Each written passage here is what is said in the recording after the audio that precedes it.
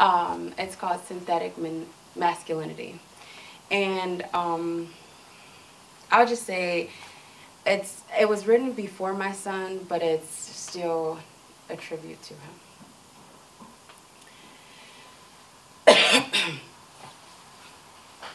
Shut up and be a man. Be a man. Grow up and be a man. It's time for you to take responsibility for your actions and be a man. Think for yourself. Walk tall. Be a man. We say these words as this, this is something that just magically happens without nurturing or guidance. How can we expect them to think for themselves when all their life you've been breaking them down and teaching them to follow your every word without question? Even though you know that they know that you know that they know that you don't really know what you're talking about, but you just scream even louder. You just keep yelling louder and louder because you got to keep them in their place, belittled, grasping tight to their ignorance because they dare not challenge you or anyone else. They dare not find a book and find the truth because my, my mama said. So instead of challenging them to research a topic or form their own opinion, you defend, you demand unfailing adherence to whatever you say.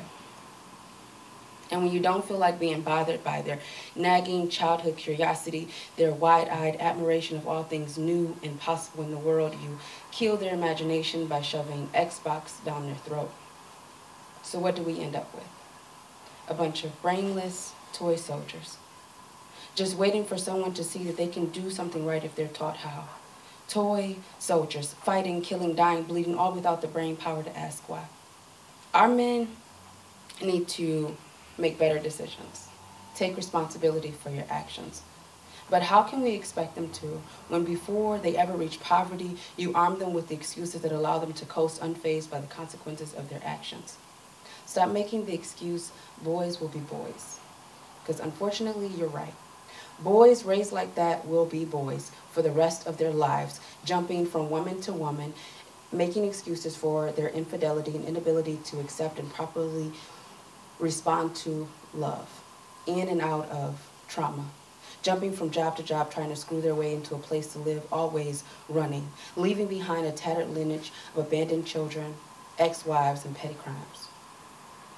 Dear parent, are you going to teach him that he has the power to be a better man than his absentee father?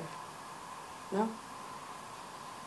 Are you going to just keep pumping him full of synthetic masculinity. Be hard, don't cry, don't care, don't feel, don't care. And if you find a woman who loves you despite your faults, push her beyond her breaking point. Cheat on her, beat her, have four or five side women. And then if she stays for 10 years of shacking up, then she becomes wifey. Not your wife, because that would imply that there's something good and wholesome about you, but wifey. The irresponsible equivalent of wife all the benefits without the messy responsibility of love, honor, cherish, respect. How about we be present, be a parent, grow up and be a role model. It's time to take responsibility for your actions and be the parent.